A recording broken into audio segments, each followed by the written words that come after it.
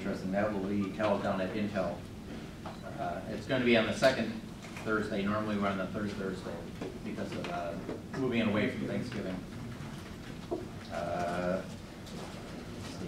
Also, this, this event is a, a joint event with uh, Silicon Valley uh, Virtual Reality, which uh, three over here uh, are members How you of. doing, everyone? Uh, Carl, uh, you want to talk about your, your group and say your next meeting? Uh, Yeah, so, uh, Sil- it- for those of you who don't know, Silicon Valley Virtual Reality is, we're focused on consumer virtual reality and what consumer price virtual reality opens up. So, uh, we meet every month.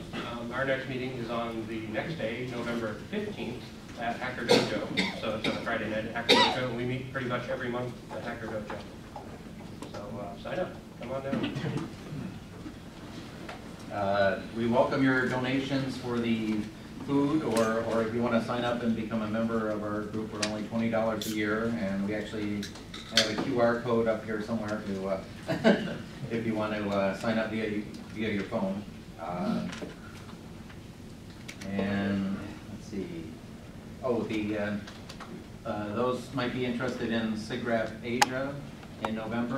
Um, I believe the, uh, check online for that. That's uh, another uh, international SIGGRAPH uh, meeting with the key research plan. All right, uh, so now we'll start with near eye light field displays. Uh, So, uh, this is gonna be, uh, uh, this was presented, well, it was presented at SIGGRAPH and was also an emerging technologies display there. Uh, It's always interesting to see what's there, so. uh, Douglas Lanman has been at, uh, is at NVIDIA Research right now, and has been at many labs, uh, research labs, MIT, I see, uh, Lincoln Lab, uh, Los Alamos, uh, list goes on. So we look forward to hearing more about your talk, and this is kind of an extension of, uh, or uh, what was presented at, at the VR group here, uh, in more detail. Thank you. Thank you. So thanks for showing up this evening and bearing with the AV. It's great to have, you know, be in the SIGGRAPH community. Uh, this really is the community I published in. You know, I've been a graduate student and a postdoc for going on more than half a decade now, and so you know, every time I could be part of SIGGRAPH, uh, it's always very exciting. And one of the many reasons I chose to study graphics in the first place. I went to SIGGRAPH and I saw how much fun it is, particularly emerging technology. I said, this is what I should be doing. And so I closed the book on physics and decided to start working on graphics. Probably a good choice. Physics is hard. Um, so, before coming to NVIDIA, I've been at NVIDIA for about a year. Uh, prior to that, for a couple years, I was a postdoc at the Media Lab working with Ramesh Raskar. Some of you might know him. Um, and my passion at the time was, was working on glasses-free 3D displays, right? So remember, this was three, four years ago now. When I started doing this, that, that still was when the 3D hype was still on the upward trend. It seemed like a good problem to work on. It still is, I think. It's certainly a challenging problem. But when I got to NVIDIA, I said, okay, you know, I know a lot about multi-view imaging, 3D displays, light fields. What can I do for you, right? So we sat down and we started discussing what problems might matter. And this was last summer. And you know, all of us read Engadget or TechCrunch, or I'm a little older, so I still read Slashdot. I you still follow that. Um, of course, wearables were on the horizon. This is before Google Glass, before Oculus Rift, but everyone knew they were coming. And so I decided to sit down and take the skill set I have and try to do something new in the wearable space. And this project is sort of an obvious, given my background, an obvious description. It's a light field display applied to near-eye wearable applications. And so really, uh, the first day I started NVIDIA, we pitched this at lunch, and I said, yeah, I think you could do this. You could take a 3D TV, something like a lenslet treatment of a display, shrink it down and cram it up against your face, and use the multi-view capability of that display, rather than really giving you a multi-view experience, giving you the ability to float an object far enough away that you could comfortably focus on. it. Right? That's the high-level concept of why a light field might even work in near eye. But I said, look, I'll go run the equations, but I don't think it'll look very good. Right? All of us know about, how many of you have heard of the Lytro camera? Being in Silicon Valley, it's going to be near 100%. Right? So, so everyone's familiar with Lytro. Anyone who's worked on light field knows the, the, you know, the killer reason that you don't see a lot of consumer products is you give up a lot of spatial resolution. You take something like in Lytro's case is an 11 megapixel sensor, and you give you something arguably that's around a megapixel image, right? Huge loss in spatial resolution. I said, you know, displays are not 11 megapixels yet, right? We're still at the two to four megapixel range of displays. That trade may not be viable. And so this is a rare case, although I've had a short research career, where my instinct was, was really just completely wrong, although it often is in hindsight. It, it turns out it works surprisingly well. There are many reasons this should fail. Spatial resolution should be lost. You have small lenses close to the eye. You should have diffraction, scattering, all sorts of artifacts. And so, you know, in this talk, at least in, over the next 50 minutes or so, I sort of try to give you a sense of why a near-eye light field display might be beneficial and why it's viable at all. Uh, okay, so let's dive in. So again, starting last summer, I knew almost nothing more than, than popular press tells you about head-mounted displays. So I go to, the, go to Google and I say, okay, immersion learning from the fire hose, what is a head-mounted display and where did it come from, right? And this is what I found. I really should take the name off this slide. Uh, you know, not surprisingly, all of you probably know who Ivan Sutherland is. You should if you're in graphics, right? So I was pleasantly surprised to find Ivan was arguably the first to ever create a graphics-driven head-mounted display. So when you say virtual reality or augmented reality, what was the first device, first implementation Ivan was the first, right? He was the first for pen-based computing, the first for gestural interaction, the first for real-time, all, it just goes on and on and on. So a lot to respect, and yet another thing I can put, put uh, on the list. So the, this is his actual prototype.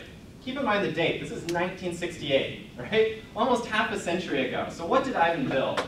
So does anyone know the name of this system?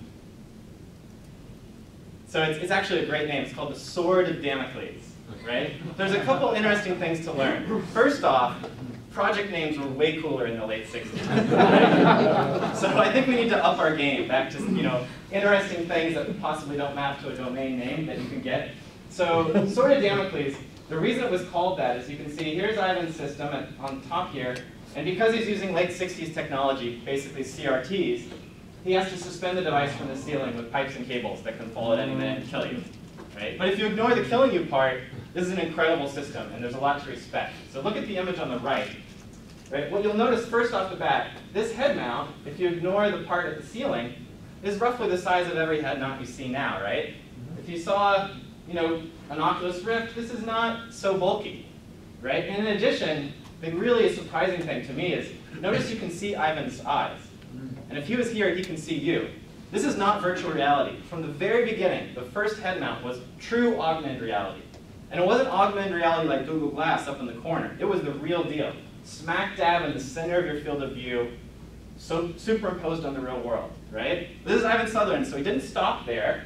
All these cables and weights had a point. He could actually measure real-time head tracking, just like the Oculus Rift.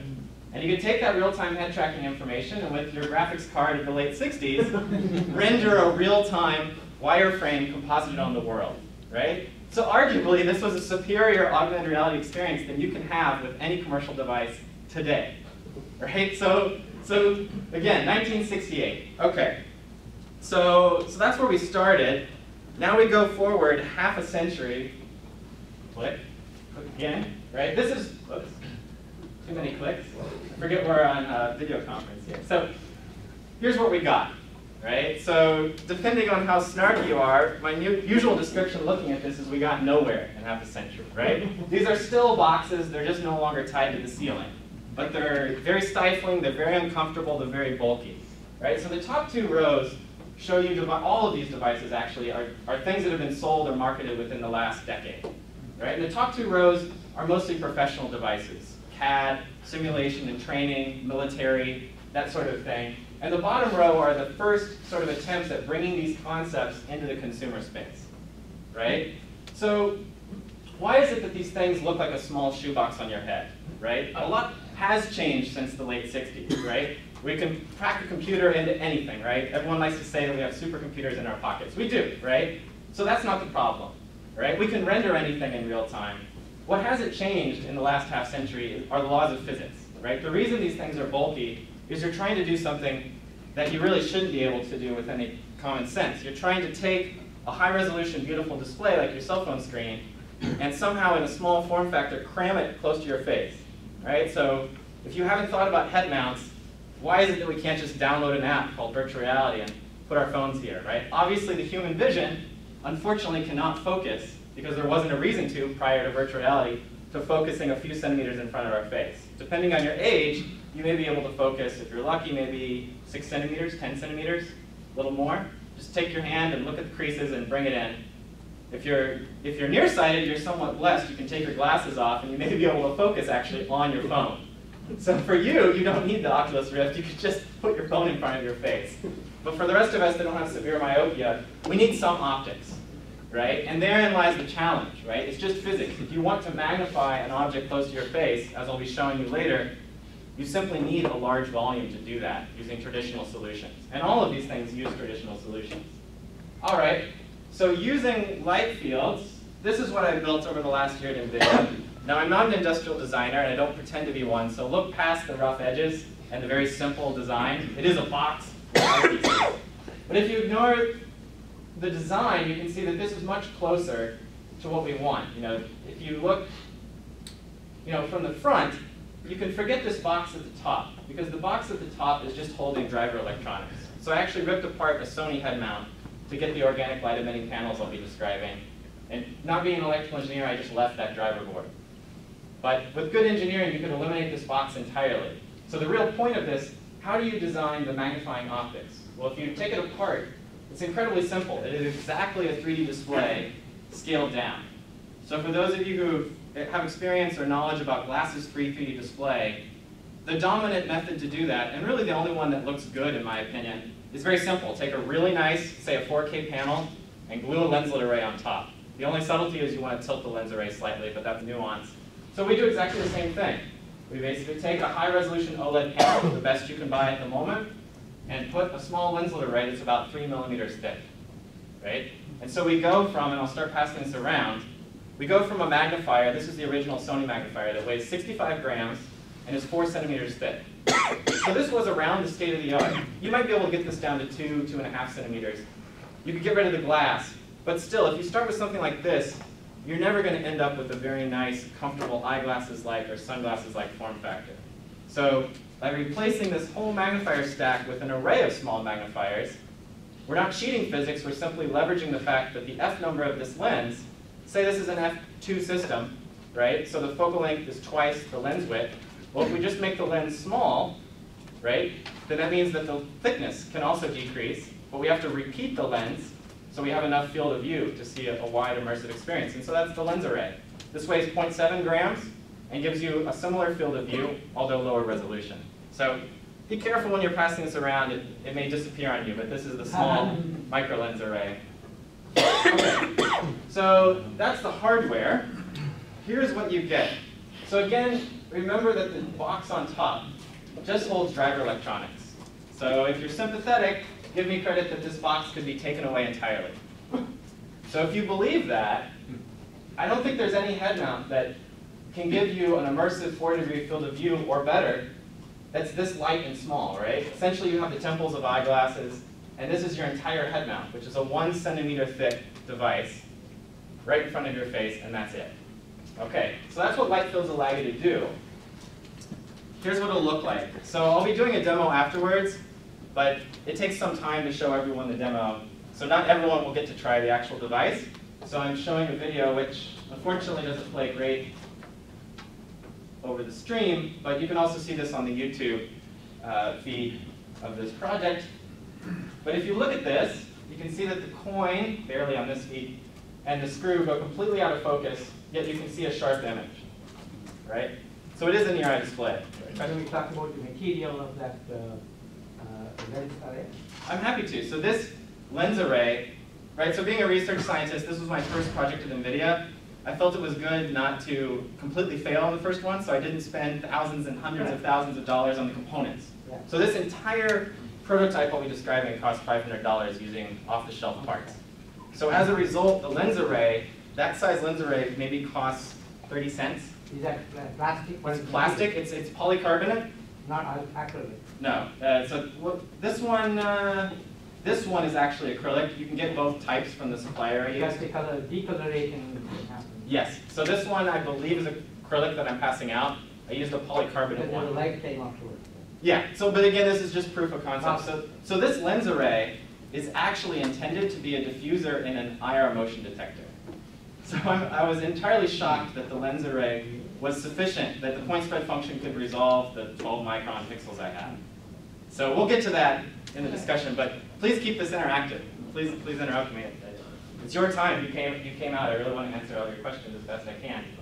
So, so it is a functional near-eye display, and while the resolution is not superb, in terms of pixels per degree or cycles per degree, it's comparable to something like an Oculus Rift already in prototype form. So this is just to show you that the light field resolution loss can be tolerable. Okay, so at, at the end of the day, I am at NVIDIA, and so what's interesting about this project, we've, we've changed the game optically, right? Everyone's been stuck having fairly bulky head mounts since Ivan Sutherland, because they used the solution Ivan came up with, and many others did even before Ivan, which is a big magnifying lens in front of a small display, right? Because we've replaced it with a bunch of small micro lenses, we've made it thin.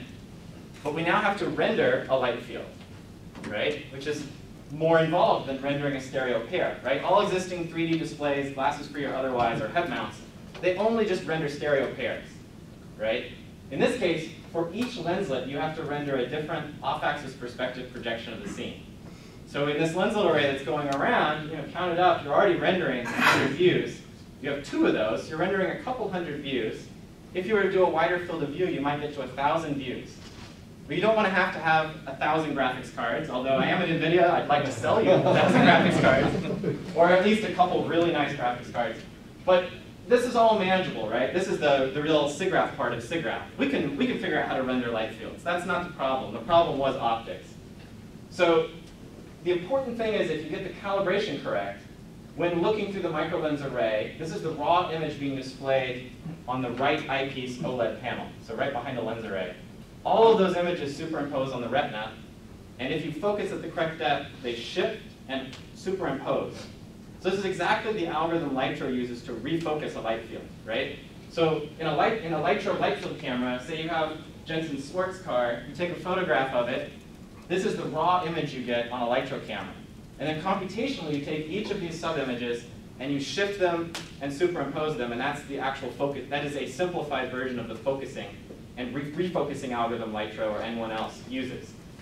So in reverse, what we do is we render this array of images, we view them through a lens array. Each of these is a small projector projecting an image onto your retina, and then your eye, the cornea and lens, as they deform to focus at a given plane, your eye is functioning as it does in reality, which is it's an optical computer running the refocusing algorithm Lytro uses, right? When you focus, all of these things shift and superimpose.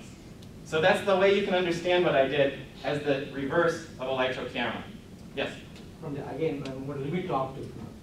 Uh, how are you managing the uh, reflected light and how much light comes through the, uh, what's the Right, so as a prototype, all- all of yeah, so as a prototype, we're not managing it all. We take the lens, no anti-reflection coatings, no special interfaces. Okay, no You get, coating, you get reflections all over the place.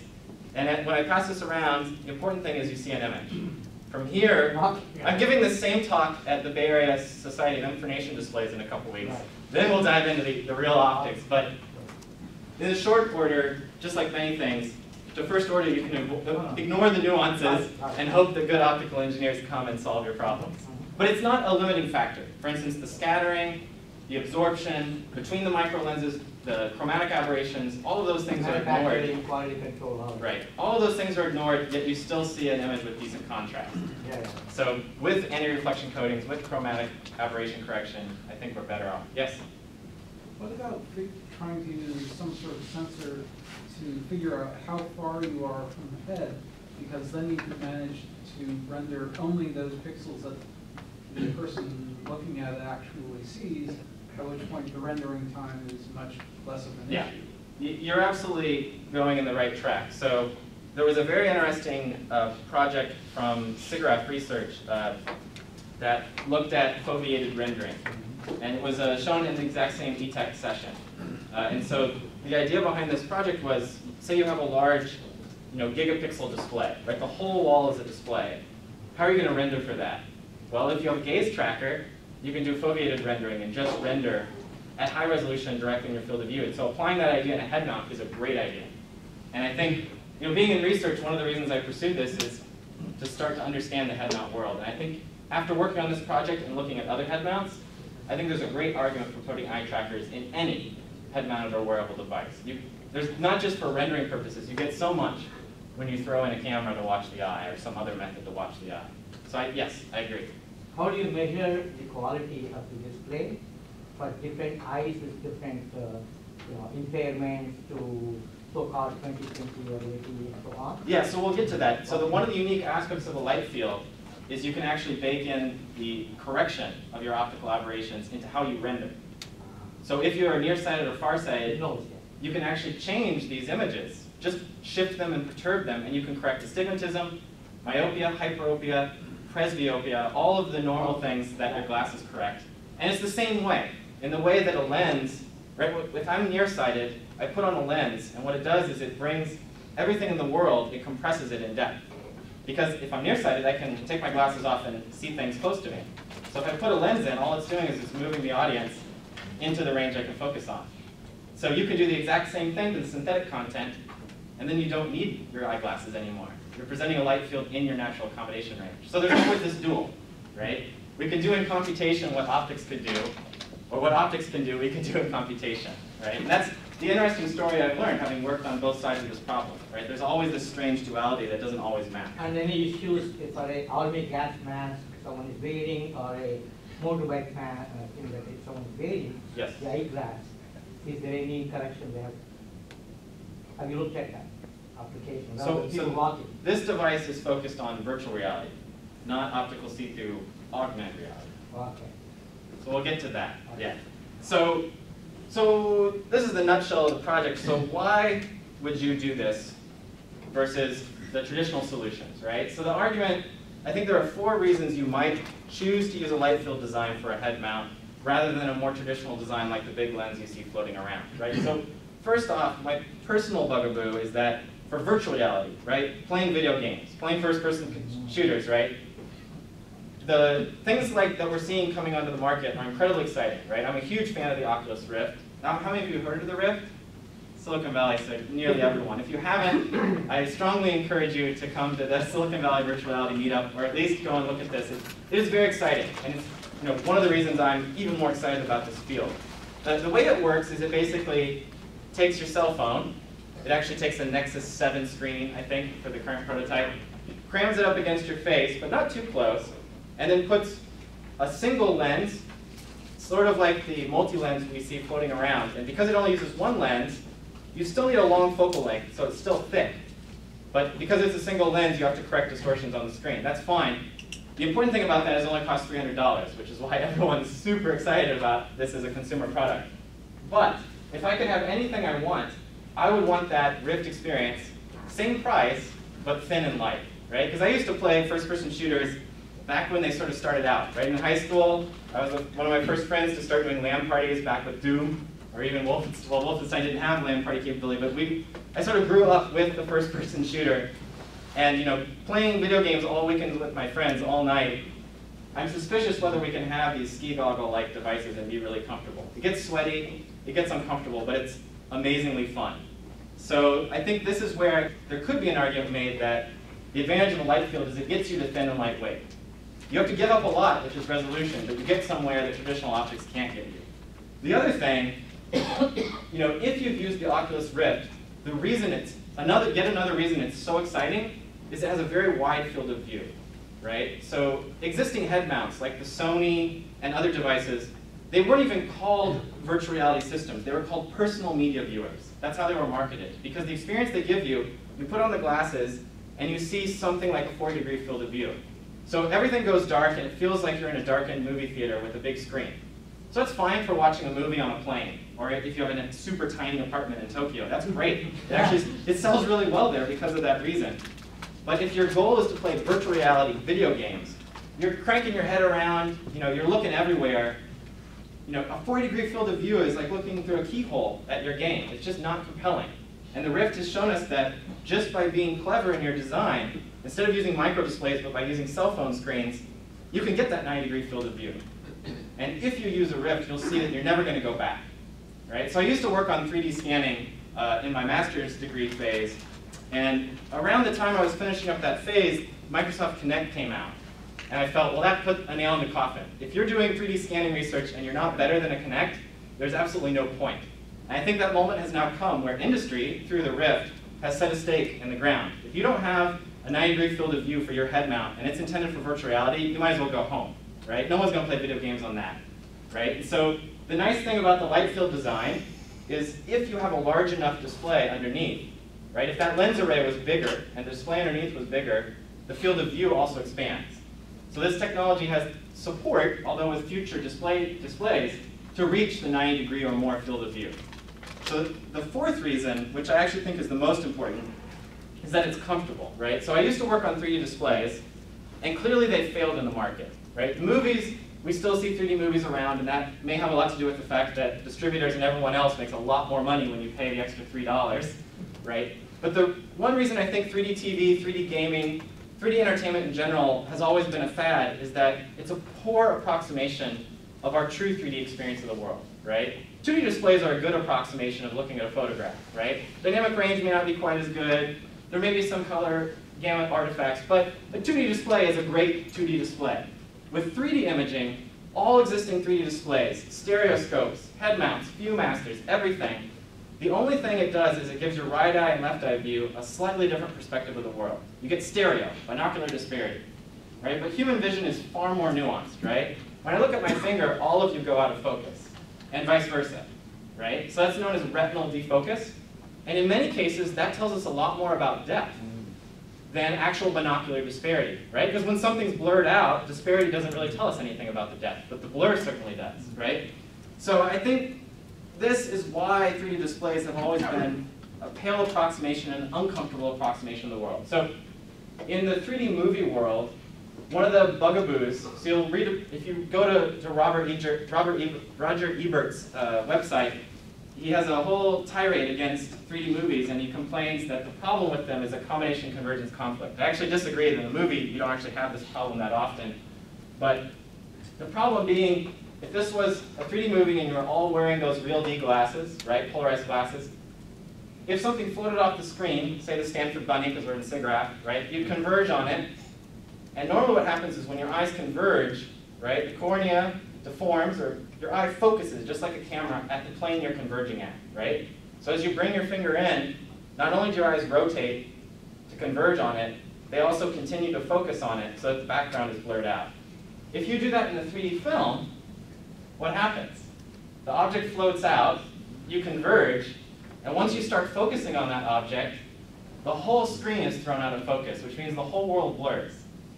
So that's known as accommodation convergence conflict, and that means when you're in a 3D movie, your eye has to unlearn what was natural for however many decades you've been alive, which is convergence and accommodation should be the same. So you actually learned, you unlearn that cue, and accommodation turns off. And you always accommodate on theater screens so things are sharp, sharply in focus, and you converge as things move. And for two hours, that's a fine experience. Three hours for some movies, right? So for 30 hours, like I used to play video games, that's not so comfortable, right? And so having these cues, I think, are very important. And not only is it important to make accommodation and convergence match, it's also important that when I verge and accommodate at a point, the other points in the scene are appropriately blurred. Because that is yet another depth cue that's very important to stimulate, to have a comfortable experience. Yeah? Um, I've actually seen it mentioned that one of the problems with, with 3D movies is fairly often, uh, one of the traditional filmmaking things is to focus on, to actually have a fairly small depth of field and focus on one thing, and the things that are out of focus are a cue you that you're not supposed to be paying attention to any of those.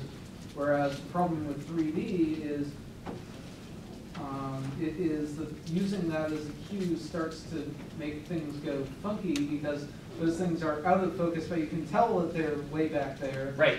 And I've seen that criticized a fair amount. Yeah, so actually I think it might have been three years ago now, SIGGRAPH had a special session, whenever it was in LA last, that uh, was on 3D cinematography. And they brought in the director of 3D photography for several movies. One of them Uh, his greatest credit was the Miley Cyrus 3D film, which was excellent, by the way. No.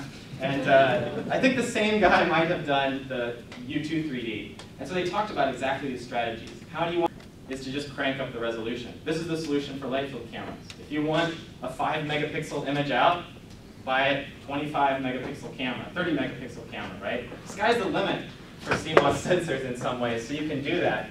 In displays, we're somewhat constrained, right? You can't go out to Best Buy and buy a 2-inch diagonal 8K display at the moment, right?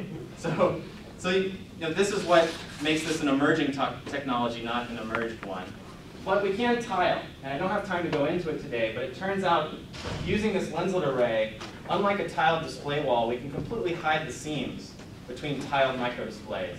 We can hide it uh, so that you basically just lose a little bit of the eye box, which means that the, the, the, the ability to tolerate the glasses slipping on your face will be somewhat compromised. So it's, it's a nuance, but an important one. Yeah? I was wondering about the uh, resolution and depth, and also like the uh, field of depth is, like near and far, that you can focus on. What, what are the factors that affect that? Great question. So in a couple slides, I'll be showing you the mega chart Uh-huh. that shows the entire complex trade space. That if you muck with one thing, here's what you lose exactly. And I'll give you the normal answer, which is see the paper. So this will be coming out as a SIGGRAPH Asia technical paper next month. And so that the meat of this work, right? This is just a lens array on the screen. So the real meat is understanding exactly what you said. What are the trades? If I have a lens pitch of one millimeter and a focal length of two, what do I get? Is it a 35 degree depth field of view? Is it a 55? What's my workable depth of field? And so when we get to that slide, I'll come back to the answer to that because we'll have some visuals to help. But roughly, the accommodation range is that for a 40-year-old at the moment. So it's four diopters. So, short answer. There's, you can project from infinity or? Optical, beyond optical infinity down to 25 centimeters. So roughly four diopters, although there's a little bit on the other end to handle correction for hyperopia. Uh, okay, so the real lesson on this project, right, is not surprisingly, the most important thing to do, buy the absolute best uh, microdisplay you can afford, and then be very careful with the micro lens selection, right? The thing I'm passing around is a decent set of micro lenses for the display I have, but it's not the perfect one. Perfect being somewhat subjective. And the reason is it costs a lot to have a custom diamond-turned lens array made, whereas if you just get off-the-shelf parts like I did, you'll have somewhat inferior parameter selection. Okay, so to make this viable, right, when would this light field near eye display concept be viable for a consumer product? Well, two things need to happen. First, we're going to need slightly larger microdisplays, right? So state-of-the-art microdisplays, the mass consumer item. So where do you think micro displays, little tiny displays, show up the most in gadgets you're carrying around? Any guesses? Viewfinder cameras? Absolutely, double points. so uh, these are actually Sony designed very beautiful OLEDs for their high-end, you know, NEX-7 type cameras, the electronic viewfinder. And then they did a prestige project where they basically took an FPGA, drove two viewfinders, and added this nice optic, right? So electronic viewfinders are driving OLEDs, which unfortunately is not mobile mass consumer technology, right? So we're not riding the same curve as something like the Oculus Rift is, right? You want to tie yourself to cell phones because you know those will improve every year. So that's one problem with this approach. We're tied to microdisplays. We need larger ones than we can currently get, but we can tile. And then of course, well this is the second problem I'll get to in a minute. The other issue we need is higher resolution microdisplays. And that is happening, right? So the industry has decided that 3D has mostly failed with everyone here, but we all want you to buy a new HD TV, right? And so how are we going to sell it to you? Or it's going to be a UHD TV, right? We're moving from 2K, or sorry, we're moving from HD to 4K, right? So I, and then from 4K, obviously we're going to jump to 8K in cinemas. 640K should be for everyone. Yes. right. So, so much like 3D, whether you believe in this transition doesn't really matter. The industry does, and it's happening. And so I can tie our technology to that curve, right? The OLEDs in projector, sorry, micro displays, not OLEDs, in, in projectors, overhead projectors, as well as electronic viewfinders, will also follow this curve, and they'll move to 4K and ultimately to 8K. And that'll give me the ridiculous pixel count I need to use a light field approach. All right, so the, one of the real weaknesses of this approach, and also a strength, is that it requires knowledge of the user's vision, right? So one of the nice things we can do is we can eliminate the need for eyeglasses, right? So this is a big question for wearables, right? If you're nearsighted, farsighted, have astigmatism, most of us have some visual aberrations, right? You wear contact lenses or glasses. But with a head mount, say you're wearing glasses, right? You know, you're not just four-eyed now, now you're six-eyed, right? You have two displays, glasses, and your normal eyes. So for something like the Oculus Rift, that's fine because you know, you can try to cram your glasses underneath, but you know, it's, it's actually sort of difficult even with the Rift's design. And so what they do is they ship you a bag of lenses in the current implementation. And if you're nearsighted, you swap out the lenses, and if you're farsighted, you swap in another ones, which is a, a very good solution for now. But it always means you're not quite getting the best experience, right? If you're a little more farsighted than the next guy, that plane is no longer quite at optical infinity. It's close, but not quite. So it's, it's not a one-size-fits-all technique. But with the light field display, it is one size fits all, fits all, right? If your vision suddenly changes, we can just change how we, we render. But we need to know your vision, right? So you'll actually see what I've implemented in the demo is a bit of a, an eye test, right? So you sit down and put my glasses on, and I'll actually do an eye test and figure out how much nearsightedness you have, what's your interpupillary distance, and then you'll be able to bake that in. But that's also weakness. I mean, in general, if I ask a random person in the room, you know, about 10% seem to know the actual diopter value of their eyeglasses, right? I don't know how many, how many of you actually know? Yeah, so this is why I don't actually support in the, the demo the ability to type in your prescription. Almost no one knows their prescription, uh, so that's one limitation. All right, so that's the idea in a nutshell. And now I'll try to, as quickly as possible, give you a sense of the nuances behind all of this. So where did this idea come from? Well, light fields are not new in any way, right? So with Lytro, right, four or five years ago, there was a huge press buzz, right? They got 50 million in venture funding. Light fields were the new thing, but they weren't the new thing, right? Light fields date back. The first papers are around the turn of the last century, right? Frederick Ives and, and eh, sorry, Frederick Ives and Gabriel Lippmann, who Gabriel Lippmann actually won a Nobel Prize for color photography. So very notable individuals realized long ago that take a piece of film, a little lenslet array on top, you can capture multiple views. Develop that film, a little lenslet array on top, now you can project multiple views, right? So turn of last century, they invented light field cameras and light field displays. Unfortunately, the technology curve they were riding took a while to give us digital sensors and digital displays, right? So that's really what happened, right? So in my previous life, life as a graduate student, right, I, I was constantly applying for DARPA funding. And there are always two questions that DARPA program managers are told to ask. And the, I, I really like this. The two they're told to ask is why you and why now? And so I always felt the why you was pointless because you're just going to get an egotistical answer. But the why now is always the most important question to ask, right? Why is this startup happening? Why didn't this happen 10 years ago or why will it take 20 years? And so why light fields are happening now are semiconductor technology, right? We've written Moore's law and all of a sudden we have 30 megapixel CMOS sensors that are one inch diagonal. And so we can afford to give up all that resolution by gluing a very naive lens array on top, and we get back the ability to refocus, no problem, right? So in some sense, I think the story is good for the idea of doing this on the display side, right? We just had to wait for cameras to get high enough res, and now we're getting light field cameras. If we wait for displays, and that's where the argument is, how long will we have to wait? The same thing will apply. And so thinking about the 3D display world, I recently saw Dolby's 4K TV coated with a lenslet array. It was actually the best glasses-free experience I ever had.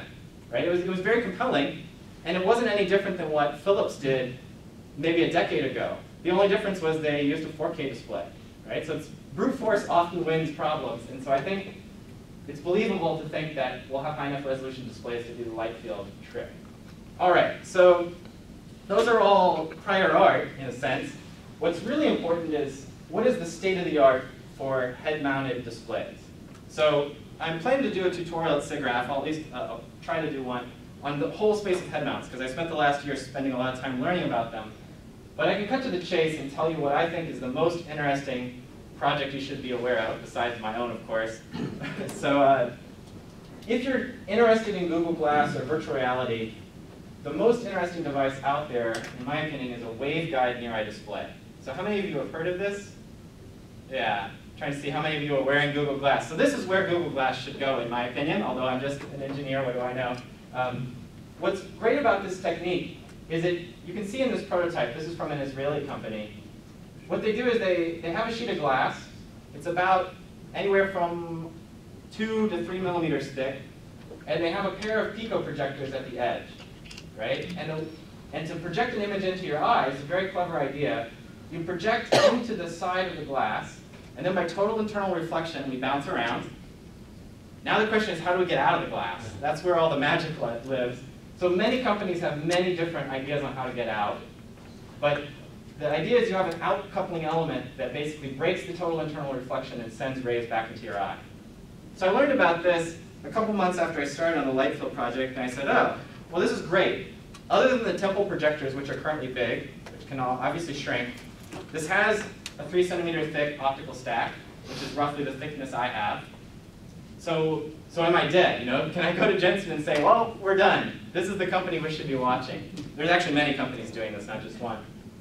I think the answer is no at the moment. So there are several limitations with this approach that are shared with many existing head mounts. So one of the big ones is that because you're using total internal reflection, you're limited in field of view, right? So remember Oculus Rift, one of the reasons it's exciting is 90 degree field of view. So if you used a waveguide for a VR device, you wouldn't get the 90 degree field of view, unless you did things that are much more exotic than what's being proposed, right? And Google Glass is already, what, 16 degrees or so, 15-ish? So you get a little more than that, but you're not dramatically changing it, right? If you're moving this into the center of your field of view, you're still looking through that keyhole. It's just a slightly bigger keyhole. So limited field of view is the biggest weakness of this. Second of all, I think this is very important for augmented reality. When you're seeing through, this device can only create images at optical infinity, right? So that means in this room, I could create a stereo sensation of an object infinitely far away. But what if I'm floating an arrow or a text over someone who I forgot their name of, right? This is all the stuff we saw in the Google Glass concept video. It's a beautiful concept, and we all want it to happen. But the question is, how do you make that optically happen, right? And if you can only create objects at optical infinity, you're going to have a lot of trouble with accommodation convergence as you're verging throughout the room and focusing everywhere. So I think this is okay, and I really hope this comes to market uh, in a consumer product, because it will be really interesting, but long term it has some, some key weaknesses. The other weaknesses are more of a nuance, which are, it has a limited field of view like I mentioned, and the eye box, the region your pupil can move over, is very small. So if you try one of these prototypes, they have a little ratchet on your nose piece to make sure it's exactly positioned, right? So if, you know, you wear glasses like I do in the evenings, if you sweat at all or turn your head down, your glasses slip, right? The eye box is so small that you fall out of it, and now you see an incorrect image, right? So this is the challenges, and of course DARPA is very heavily invested in these concepts and are moving all these limitations out. But there's only so far you can go with the field of view with the existing approach. So I'd be watching this, but with some uh, happy skepticism. Uh, so then, in the SIGGRAPH community, the biggest debt I owe, not surprisingly, is to my advisor at MIT, right? So essentially all my career I owe to my advisor, but he actually started down this road uh, several years before I even considered it. He had a series of projects I wasn't involved with called Netra and Tailored displays. Uh, this was presented at SIGGRAPH. How many of you have heard of Netra? It got quite a lot of press coverage at the time. Uh, I really encourage you to, to look at this. It's interesting, of course, in its own right. The idea was to take a cell phone display and to put an attachment on top of it. And then, this is my friend Ankit, who just sold his company to Google. Uh, so uh, what he did is he had an optical stack here. In one, one implementation, had an array of lenses and masks and all sorts of optical things. But at the end of the day, you, project, you, you put a set of interlaced images on the screen and you projected a light field into the eye. Essentially the same thing I'm proposing. It's just they started with the cell phone screen and they weren't so concerned about making it thin because it's not a virtual reality gadget. It's a, you know, it's a device for optometry, right? It's a medical device. And so with this device, you can very accurately project a set of two, a, a, a pair of lines, right? And so what you do when you, when you take your eye test, you, you take your cell phone, you put the attachment on, you press the up arrow and down arrow on the phone until the red line lines up with the green line. And you do that a few times for different orientations, And that gives you enough equations for solving the three unknowns that matter, which are the spherical, cylindrical, and axis parameters of your eyeglasses prescription. So it eliminates the need for an optometrist, uh, in particular for the developing world. So Ramesh has a startup. Hopefully I show. Oh, I think I have to go back a slide. It's called EyeNetra, and it's based in Cambridge, Massachusetts, if you want to read more. So the kernel of this idea is, is definitely started with Netra. And so the real approach to this project was to take the same concept, concept, try to miniaturize it, and look at this trade space that we're discussing very carefully so that we can get as much resolution out as possible for a general entertainment or display application. All right. It's an illustration. I and it was means same thing. Exactly. Yeah, so you know, yeah. So uh, yeah. So, so that's why Ramesh chose it. Uh, it means I. Um, Yeah.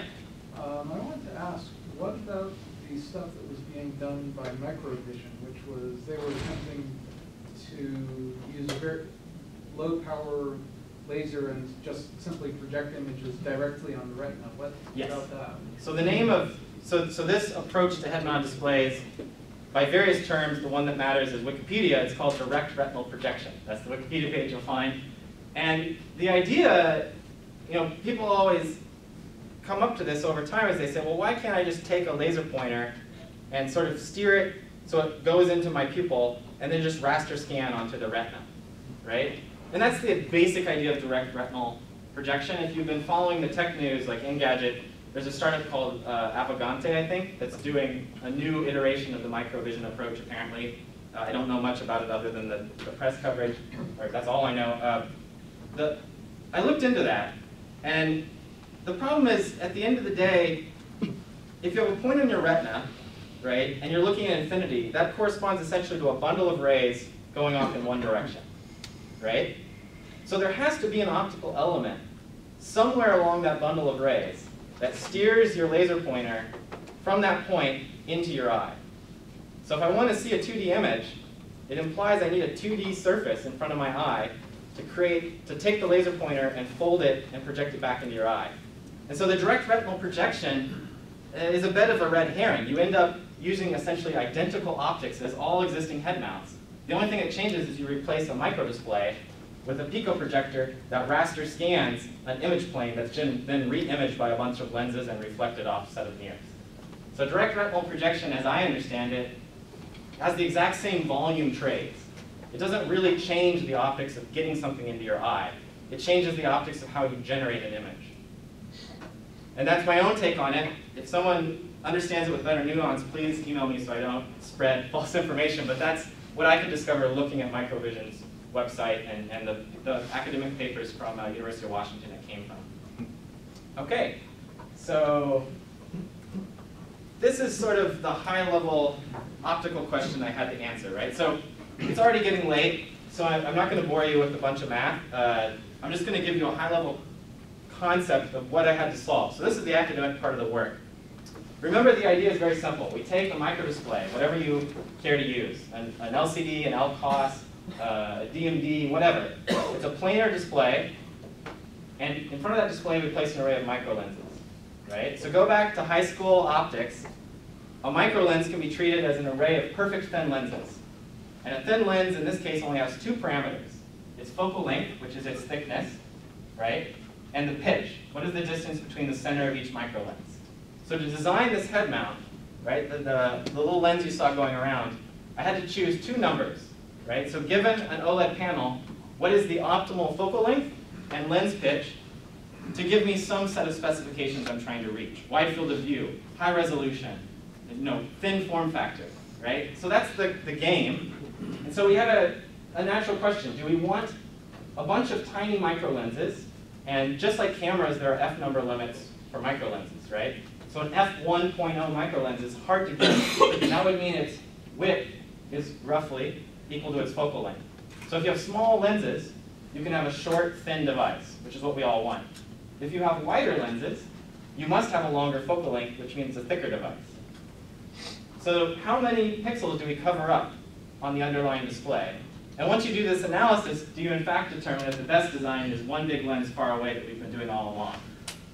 So the brief answer to this question is all three of those designs have merit, depending on what you're going for. So that Sony magnifier that's going around is of this flavor, and it's great if you don't care about thickness, and all you want is a very high resolution image over a rel relatively modest field of view, right? But if you care about thickness, then you're in the space I'm dealing with, which is move to an array and be thin. And as you move left and right here, you trade off parameters in a somewhat complex way.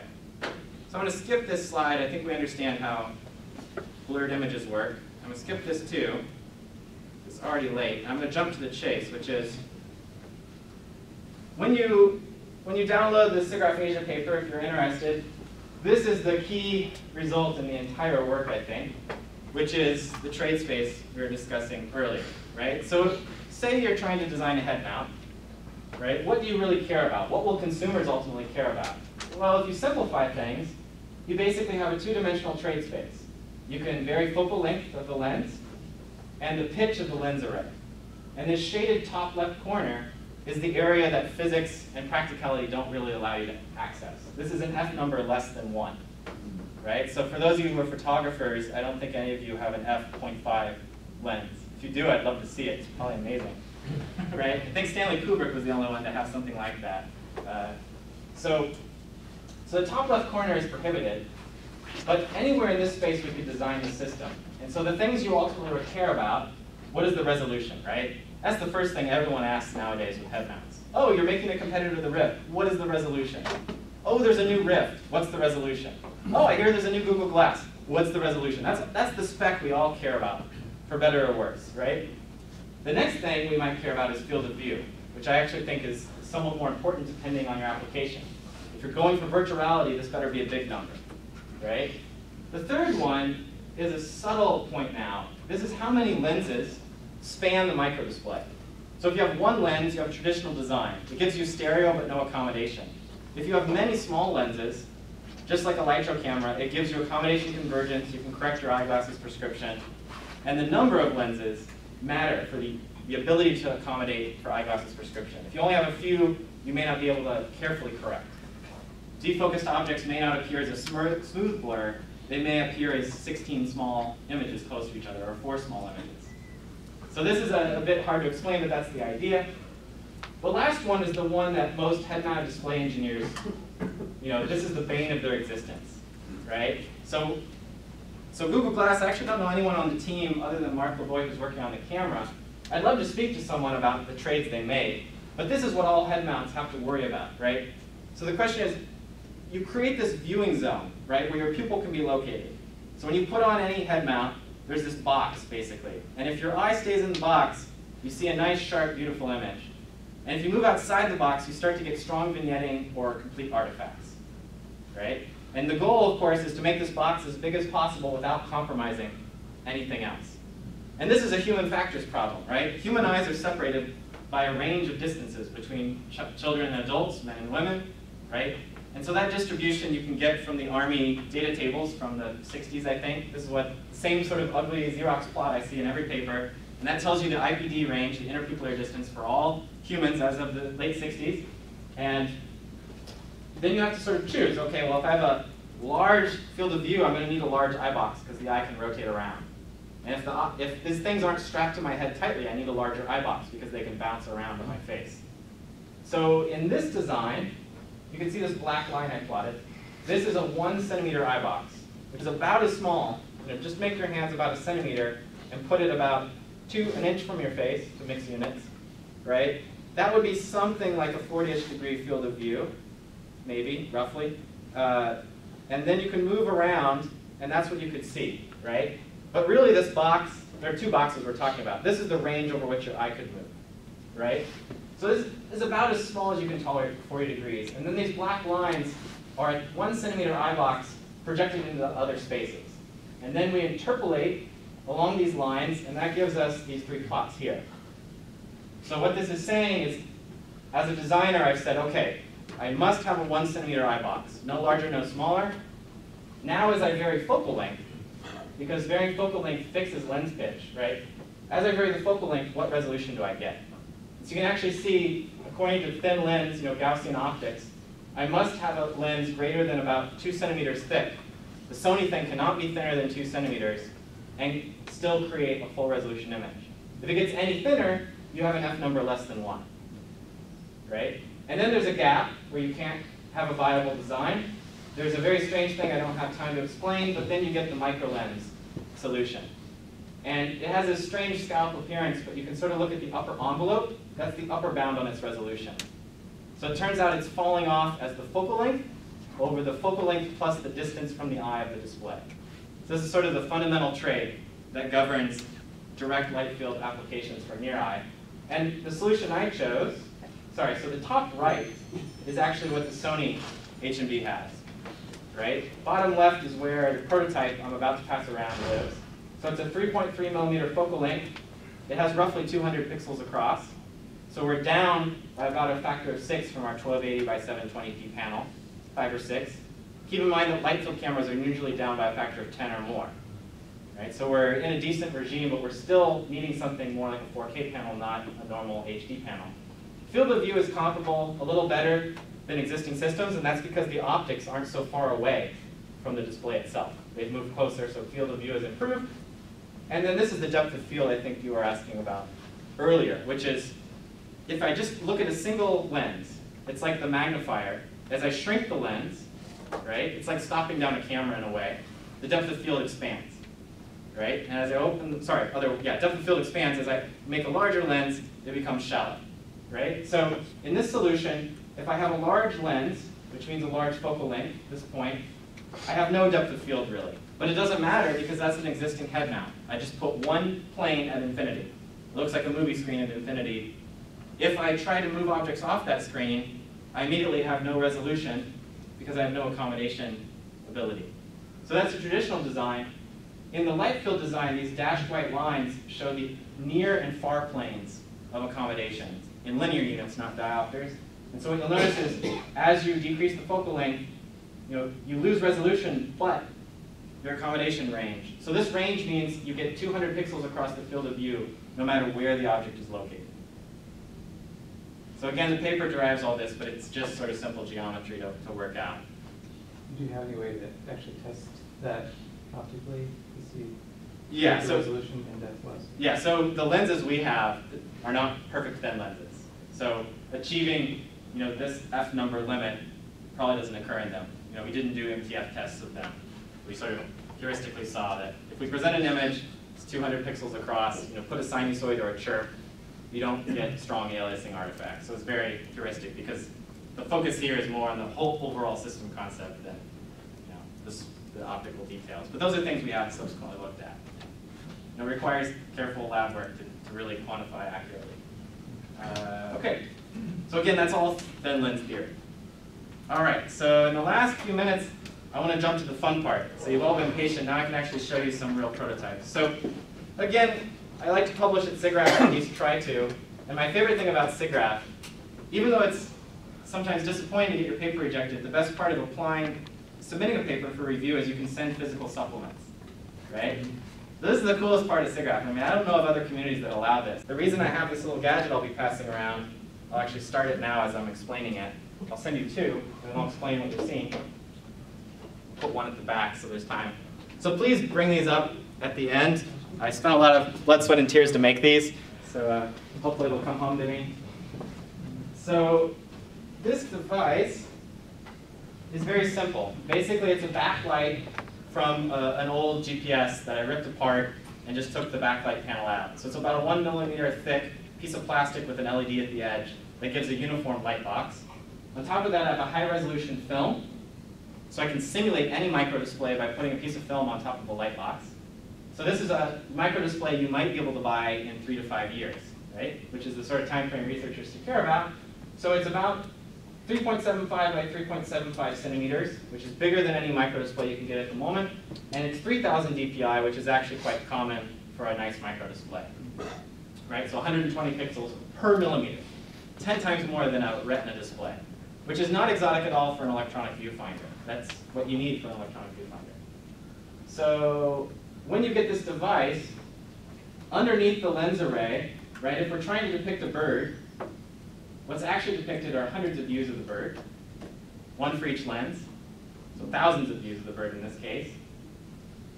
This is what it should look like But remember, this device is not strapped to your head, it's not tuned for your vision, and it's been dropped a bunch since since SIGGRAPH. but this is what you should do when you get the device. So basically, pull it up to your face, and you'll see a video in a second, but you should be viewing it from maybe an inch or two from your eye. So it's a near eye display, right? It's not a 3D display, it's a near eye display. And, whoops. This is what it should look like. So you sort of have to bring it up to your face, and then you'll see a nice clean image of all the license plates over a 70 degree field of view. So with this prototype, we can already get close to an Oculus Rift or a nice clean view of this bird, right? But what you'll notice, if I can pause this for a second, nope, let's go back. So what you'll notice here, if I start it again, you'll actually see a bunch of periodic views of the image. And that's because just like a 3D, glasses-free 3D display, you get periodic repetition of your field of view.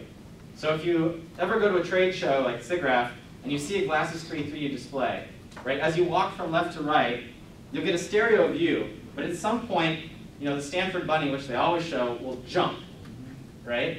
And that's because you've wrapped around the field of view of the lenses, right? So all of a sudden, you get an inverted stereo pair, and then the first stereo pair you got on the right-hand side.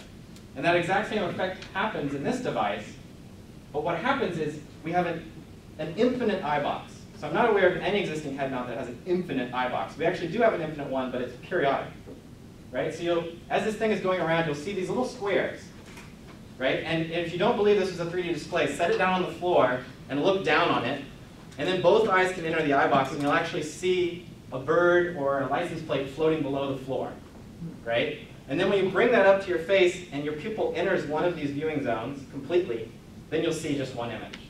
Keep in mind when the actual prototype's on your face, I can get this at the right distance so you don't, you're not able to see all these infinite copies, right? So this is sort of a nuance of the fact that you have a wearable display that's not on your face. And um, skip that, that's a nuance. Okay, so the last little thing I want to show you was actually one of the easier aspects of the project. At this point, you really understand everything, but being in a video, I want to play a video game. I don't just want to look at images of birds, right? So what I did was I built this little simple device I showed earlier, and here's how I did it. So first of all, again, I didn't want to spend a lot of money on this project, so I want to get a pair of OLED panels, the best I can get for the least cost. The best ones you can get under those conditions are in Gilroy. Go to the Sony store, ask for a refurbished HMZ T1, and they usually don't ask questions and tell them you want to buy five or six because you're going to break a lot. And then rip it apart, and you can reassemble it into any head mount you want.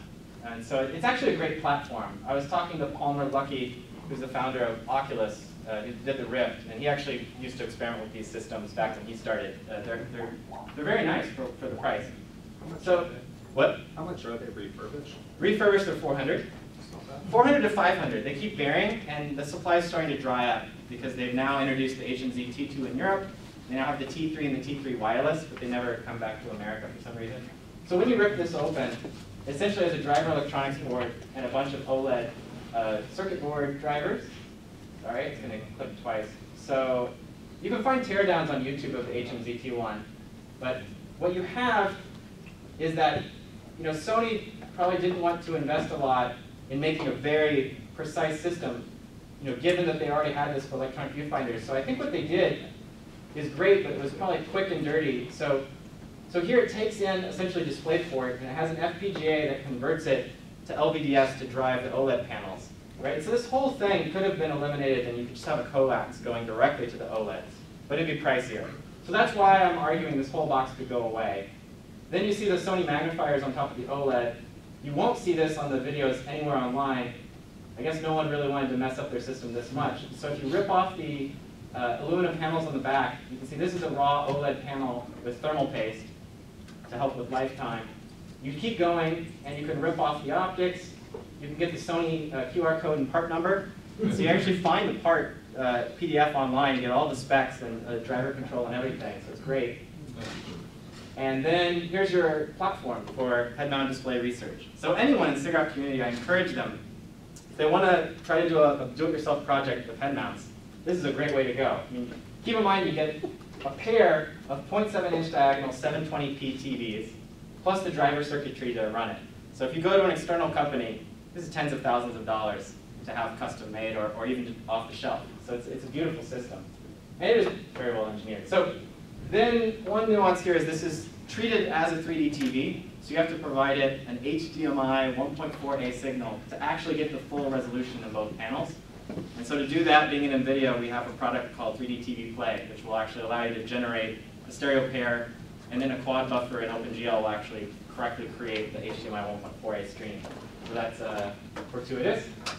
And then you can have the fun that everyone likes to do nowadays, which is go find a 3D printer and, to the best of your ability, make a cool head mount. You can tell I'm not particularly skilled at that, so it's a box with some uh, holes in the bottom for the glasses. And then the last little bit is you have to mount the micro lens array very precisely from the micro uh, display. Right? So to do that, we used a stereolithography printer and sanded very carefully until it was the exact optical separation, sandwich it and tension it like a drum head. And it's, man, surprisingly, I didn't think it would, has held up through SIGGRAPH and a couple months afterwards of being dropped. So uh, that still surprises me. You mentioned the display had to be off slightly or something, is that, or? Yeah, it, it, the lens can get slightly shifted, and so far I haven't had to recalibrate. Although, yeah, see, at the demo I did last week, it was a little off, but again, yeah. So that's the, the whole setup, and then this is what you get in the end. And I think that's essentially where I'll leave it. That's the, the project in a nutshell. Uh, plenty of questions, I'm sure. Fire away. I'm curious, you mentioned that uh, there's some reason that you want to tilt the lenslet uh, grid, is, that- is that correct? Why would? Some reason to tilt the lenslet grid. You mentioned something about tilting the lens. I didn't know what you really meant, but I was curious about that. Tilting the lens. Uh, so you definitely want to have the micro display and the lens array coplanar, right? So you don't want any shift. If you did, it would be like a tilt shift camera lens, Yeah. and would actually create a tilt shift plane in the world. I thought you meant the, the actual grid of lenses. Yes. Tilted? Oh, sorry. So 3D TVs, right? What they do is they they don't have a 2D lens array. They have cylindrical lenses. So it's called a lenticular sheet. And normally what you would do, naively, is imagine you have a, a high resolution panel and you have a cylindrical lens that covers, say, 11 pixels, columns of 11 pixels. And then you have another lens that covers another 11 pixels, right? So if you turn on one column of pixels, right, those will only be visible from one direction. And then the next neighboring column will be visible from a slightly different direction. And so basically you, you take across the display, say you have uh, 640 lenses, that gives you a 640 image, and then you render set, you know, in this case I think I was saying seven, I can't remember, set, uh, 11 or seven or whatever, you render 11, 64, 640 pixel images and you interlace them across. So the problem with that is you'll lose horizontal resolution by whatever the number of views are. So if you have 10 views, you lose resolution by a factor of 10. Horizontally, but vertically you don't lose anything. Because you're only going this, you're not going this. Yes, the argument why you can do that on a 3D TV is you don't look up and down like this. You only walk left to right on the couch, right? But you still lose resolution only horizontally. It seems like you would like to be more parsimonious and lose resolution both horizontally and vertically. And Philips had a brilliant idea that it's one of those ideas you're like, why didn't I think of that, right? So what they do, and what everyone does since then, is they take the lens array and they rotate it slightly, ever so slightly, just a fraction of a degree or a few degrees. And what that means is along a scan line, the set of pixels underneath each lens changes by a subpixel. Right? So you now actually get more than, you know, if you were had 11 views before, you actually get more views because you have a subpixel shift. Right? And in addition, you, depending on the angle, you essentially lose resolution by the square root of the number of views in each direction. So in my system, I actually need vertical parallax and horizontal parallax. So I have to have a 2D lens array. So there's no reason to rotate the lens per se, but you do need to rotate it correctly. And so if I go back here for a second, I skipped this video. But here you can see basically the thing that's going around, taken apart, and you keep the film stationary, but you rotate the lens, right? So without, without changing how you render, right, if you've assumed a priori that you have a perfectly oriented lens grid, right? Then if you have a you know misshapen or oriented rotated lens, you get all these moire artifacts. It's, you know, there's, there's a nice theory behind it. Uh, there's a paper from maybe two decades ago called the moire magnifier, and it explains exactly why you see these patterns with the 2D lens array. It's actually one of my favorite papers. It's very simple, but yes, lens alignment matters a lot. Yeah. Were you saying something about that you're shifting the IPD in this display somehow? I am, so, so it, this is another issue for wearables. So this project has taught me a lot about why wearables are so hard. So one reason wearables are so hard is if you want to, if you want to handle IPD without any moving parts, it means you need an enormous eye box to support children and adults, right? Essentially, no head mount can, can give you that IPD. I mean, the Rift is probably the closest to it, where you know, it doesn't have any cams even to move the lenses. So you'll notice in most head-mounted display devices, there are a little knobs where you, or levers where you move the actual eyepieces, right? So in this device, my prototype, I don't have those knobs either, but what I can do is I can actually translate the underlying imagery. I can move, move the viewing zones. And what that does is it translates the eye boxes closer or further away. Yeah, but aren't you going to get a optical shift that's going to cause a, a slight convergence issue? Well, you get an optical shift, but when you render, you're actually including that shift. So you're, you're actually countering the render effect in the, the render buffer. Yeah, so you so so without moving the optics at all, all we're doing is translating the underlying image. So for instance, here I'm showing what happens in this movie. As you take a camera and you just translate it, and so you see what's happening very clearly on my laptop. You're basically seeing the periodic repetition of the viewing zones. So if your eye was fixed, we need to move the viewing zone to you. And so the way you would do that is rather than moving your head or your eyes, because you can't move your eyes closer together, you can translate the image you render. So, We're translating the camera or the image. yeah, you'd actually want to translate the cameras and the images uh, to do this correctly. And so, let's see if I have a video of that. I think I have one here, if I recall. So you're here, just by a subtle shift, This is with the camera fixed. We're sliding the eye box. And of course, you can do that in tandem and move the, but you are changing the sweet spot. So what you really want to do is probably still allow the device to adjust IPD1 cams and then have this. Uh, so that's an issue for stereo wearables. And it's, now that I'm aware of it, you know, whenever we get stereo Google Glass, I'm curious to see how a well-engineered solution can handle this problem with a fairly tight eye box. It's just a fundamental problem for head mounts. It's one great reason to only do a monocular. Having done this project, pro- project, I have a huge respect for all the choices made for glass, because it rides right up to what can be done well with current optics, right? Don't do two, don't do stereo, do one. Do a narrow field of view, put it away, right? It, it really makes a lot of sense, and I can sort of sympathize with why engineers chose all that. Any other questions? Yeah. So, um, you said two letters several times during your talk, but I don't really see it in the device, which is, the letters are AR. And I'm Ah. if, uh, there's a future extension you intend, or what? Certainly, yes. I'm not, we're not presenting anything, but it certainly begs the question. Light fields had a lot of benefits for VR, and the reason I chose, I actually started this project hoping to do AR. But I, I bet on micro lenses because having worked on 3D TVs, there are lots of crazy ways of getting a light field.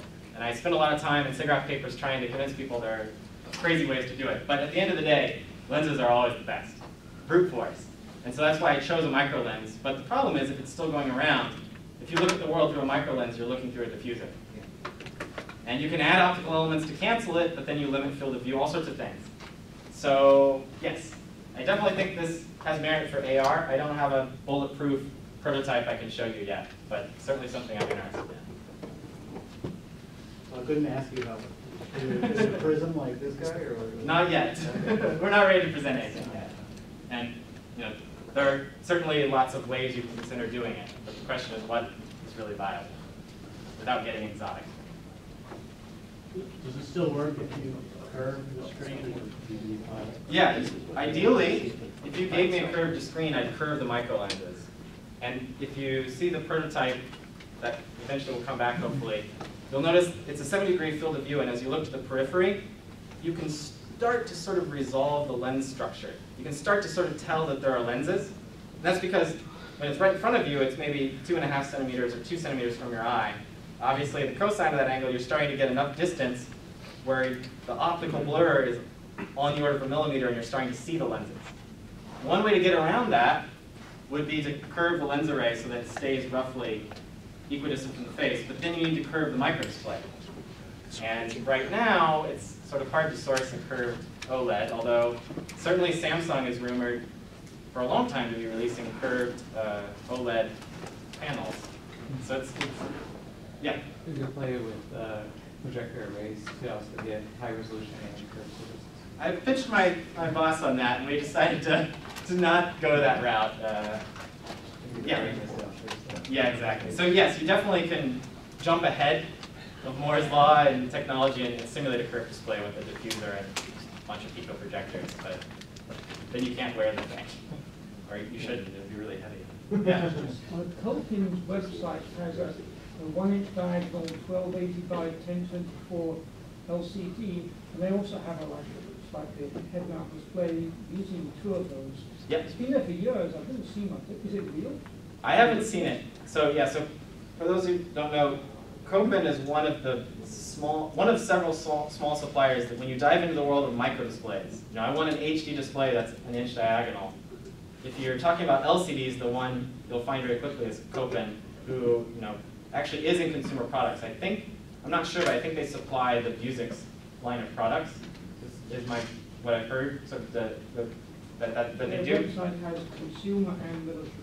Yeah, and military. Of course, military funds all of this, but so so I've never seen their highest end. So so assuming Kopin displays are in Vuzix, I've seen a lot of the Vuzix products, and none of them are that high res.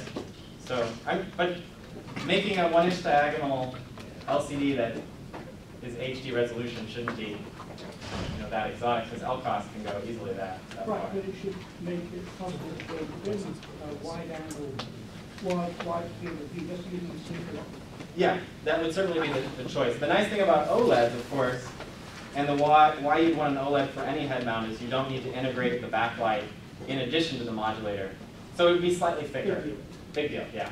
So, so I looked into the, also, just for, you know, your own sanity, Kopin, to my knowledge, doesn't give you a nice, you know, developer kit that has even a driver board this small, right? Most micro displays you'll find, like the LCD ones, you can get, another source is HoloEye that provides them as spatial light modulators for optical sciences, right? So if you're in a physics lab and you have an optics bench and you want an LCD modulating something, this company HoloEye will sell you, you know, fairly high resolution LCD transmission panels, but they're also attached to a box, a shoebox, right? So you have to hit the sweet spot that if it's just one or one or two guys working on a project, you don't want to be tethered to a shoebox for a wearable. So that sort of took that off the list of contenders and really made the Sony attractive, right? Almost no dev kit for an OLED is this small because there's no reason for it. It's a, it's a dev kit. So how about the, uh, the third generation Sony just announced a few weeks ago? The HMZ T3W. Yeah. Uh, I don't, I don't know much about it. I know, my understanding is that the HMZ T2, which you can only get as an import in the US, I thought it used the same panel, although I don't know. Uh, and my assumption was that the HMZ T3 also uses the same panel, but I don't, I, I'm actually curious. If it used a better panel, it would be a great, I, I imagine the fundamentals of the device haven't changed dramatically, so it would, it'd be great to take apart and take a look at. Uh, Sony makes wonderful OLEDs, so. Yeah, So have you studied any motion artifacting, and what's your resolution at the motion artifacting level? motion artifacts. So there are a couple motion artifacts in head mounts. So for instance, in my prototype, I have no head tracking. Well, no, I'm talking about as your uh, motion artifacting from the image moving in the display through the microarray. Like aliasing effect. Yeah, microaliasing is one. As the mo, as something moves through your display, because Yes. you're using a microarray, Yeah. what is the aliasing amount that you would see a- across? It depends the- on like a being moving and. Is it like a spatial? So, so at a high level, what we did is we implemented light field anti-aliasing.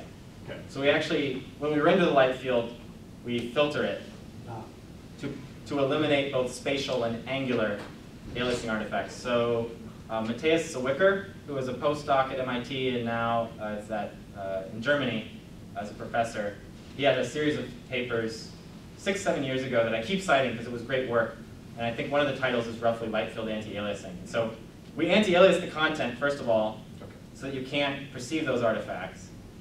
But then you still get motion artifacts because you have an OLED which is driven not as a passive matrix, but as an active matrix. And so you get the sort of zero order hold motion blur that you get with all hold type displays. Right? So that that's there. But you're taking care of the micro lensing effect by doing the Anti-aliasing. Anti-aliasing through the Yeah. light field. So if you didn't, and if you get a chance, I know it's already getting late, but if you get a chance to try the prototype, I can toggle the anti-aliasing on and off. And you can see some, for the most part, it looks like classic aliasing. If you look at a stairwell, so I have Doom 3 running on this, I didn't have time to show that, but if you look at a stairwell in Doom 3, you turn aliasing off, you see the classic, you know, moe patterns across the stairwell. And yes, there's some angular component, but this is sort of the dual of a light field, so it's not, the angular aliasing artifacts are not as dramatic as the spatial ones. So it ends up being very similar to traditional super sampling. Yeah, you can, you can show, it, see a zebra, then you will immediately see the effect. Yeah, I actually have a zebra in one of the demos. Oh, really? But the spatial frequency of that grading is not high enough to see it, yeah. It's a good time to end here. Let's Yeah. thank our speakers.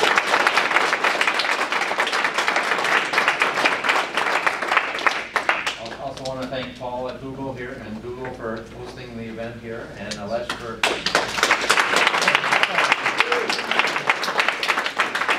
Alesh for arranging all the details uh, together here. He's our vice chair.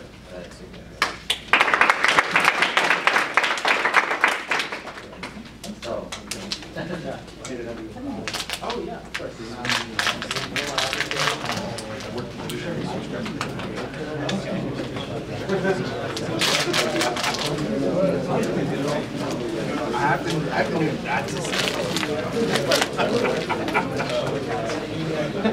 Please clean up after your